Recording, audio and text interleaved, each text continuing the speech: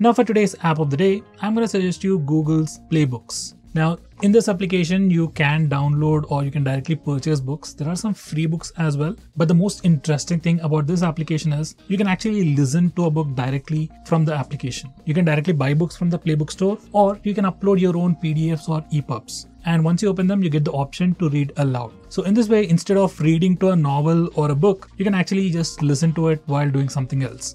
This is definitely one of my favorite applications and this is what I use a lot to listen to novels. Even if you're not interested in novels, there are a lot of interesting productivity related books, self-help books on the Playbook store. And as I've said, you can upload your own books to its library and listen to it. By the way, there are no ads and it's completely free. By the way, if you're planning to use the read aloud feature, I would recommend you to tweak your speech rate to your preference so that you don't waste a lot of time. So guys, what do you think about this application? Do let us know by commenting below this video. And if you like this video, hit the dislike button or if you don't like this video, hit the like button. It really helps the channel a lot.